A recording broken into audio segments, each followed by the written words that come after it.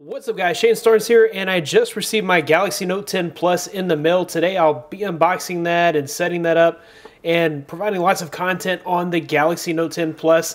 But what you guys keep asking me about, about the battery life on the Galaxy Note 10. So my Galaxy Note 10 Plus here comes with a 4,300 behemoth giant milliamp hour battery, while the Note 10 comes with a measly, uh, minuscule 3600 milliamp hour battery. So I think it's important that we go over the settings that I've used for the past three days on this phone. I've had the always on display turned on, so if I've not been using my phone, the always on display has been on at all times. I've also had adaptive brightness turned on. So adaptive brightness has been turned on. So that just means that the screen has adapted to the lighting that's around me. If I've been outside, which I'm outside most of my day, the screen is brighter. When I'm inside, the screen is less bright. And then the only other change that I've made is I do have a dark wallpaper and I do have dark mode turned on, which can consume less battery since the OLED panel actually turns off pixels that aren't being used. This is going to be my in-depth battery life review on the standard Galaxy Note 10 after three days of use. As you can see, it is 9.43 in the evening here. I've still got 21% battery left.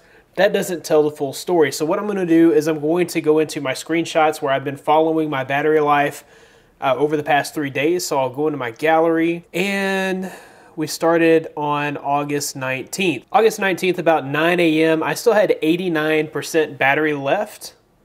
And at 9.01, I had been using the screen for about 46 minutes. My phone had been unplugged from the power source at about 6.45 that day. As you can see here, um, at 9 o'clock a.m., I had about 89% battery life.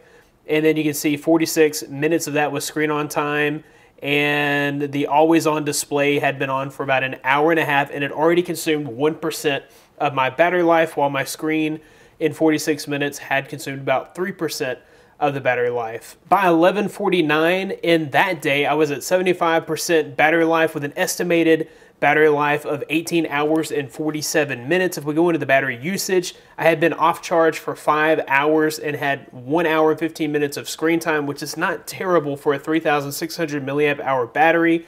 My always on display had consumed about 2% of my battery. And you can see the other applications that I had used at this point. I used YouTube for 20 minutes. I was on Twitter and Facebook for a few minutes here and there. All right, so by about 3 o'clock in the afternoon, I was down to 50% battery, so still respectable, but we need to go into the battery usage. I had only used two and a half hours of screen on time. One of those hours was spent on YouTube, and the always on display at this point had consumed 3% of my battery life. Once again, about 22 minutes on Facebook, 19 minutes on Twitter did not consume a whole lot of battery there. By 6 o'clock on the first day, I was already down to 19%.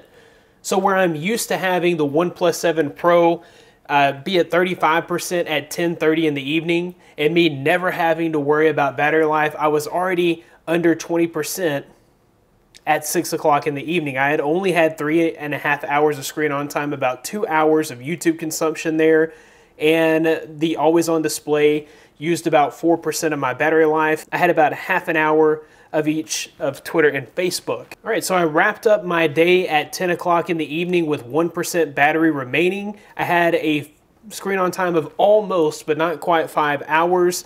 And YouTube was three and a half hours of YouTube consumption, always on display, only used 6% for the entire day. And you can see the other apps that were used.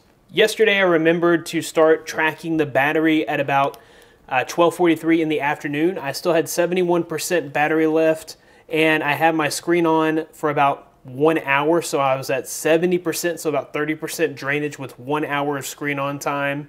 Always on display had consumed about 2% of battery, and I had used my YouTube Music app to stream music uh, with the screen off for about 14 minutes. Jumping forward to 146 in the afternoon, I was already down to 58% battery life. My screen on time was at almost two hours uh, with two hours of use on YouTube. Some of that was streaming content without the screen turned on. So I was able to get almost three hours of YouTube streaming. Um, once again, a lot of that was with the screen turned off. HBO Go I used for about 30 minutes. My always on display here had consumed 2% of my battery uh, by the time I was at 58% battery, and you can see the rest of the usage there. Yesterday, I made the realization that I was going to have to really kind of use my phone a little less often after about 3 o'clock in the afternoon to conserve my battery. So I realized, hey, if I want this phone to last all day, I better start conserving the battery life. That's something that I didn't have to worry about with the S10 Plus. It's something that I didn't have to worry about with the OnePlus 7 Pro.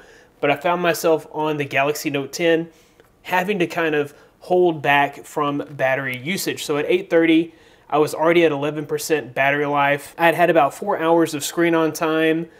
Uh, four of those hours used uh, in YouTube, whether it be with a screen on or off, about an hour and a half in HBO Go, and my always on display had only used about 4% of my battery. By 10 o'clock in the evening, I was down to 1%, and I wasn't able to make it to the next screen to show you the amount of screen on time, but it was almost not quite five hours. It was at about four and a half hours, four hours and 45 minutes of screen on time, which is not terrible for a 3600 milliamp hour battery. All right, so today I started my day off at eight o'clock with 99% battery. At this point, I had been off the charger for 33 minutes, but hadn't really used my phone. Uh, once again, just remember that I had decided that I'd have to be conservative with my battery. By about 1 o'clock in the afternoon, I was down to 62%. I had one and a half hours of screen on time at 62%. About an hour of that was on YouTube, 18 minutes on Twitter, about, let's see here, 2% was used for the always on display and about 7 minutes in Facebook. At 8.30 this evening, I was down to 24%, keeping in mind that I've been using my phone conservatively. I've not really used it a whole lot during today. My screen on time was about three hours with 24% remaining. Three hours of that was YouTube time. Most of that was streaming with the screen turned off. Always on display was at 5% and about 15 minutes of Facebook, 29 minutes of Twitter. All right, so at 9.51, we're down to 20%. If I go into my settings and I go down to my device care and battery, we'll see that my estimated battery life from this point forward is 3 hours and 18 minutes. We go into battery usage.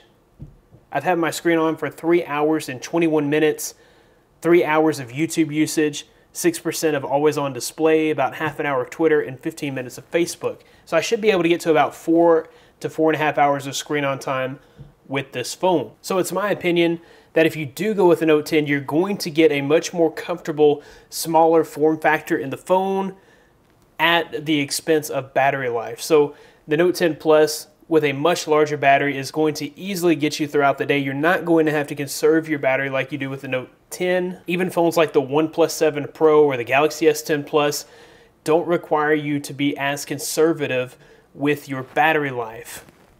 Anyhow, guys, that about wraps it up for this video. I hope you've enjoyed it. If you have, be sure to give it a big thumbs up. Subscribe to this channel for more coverage on the Note 10 and Note 10 Plus.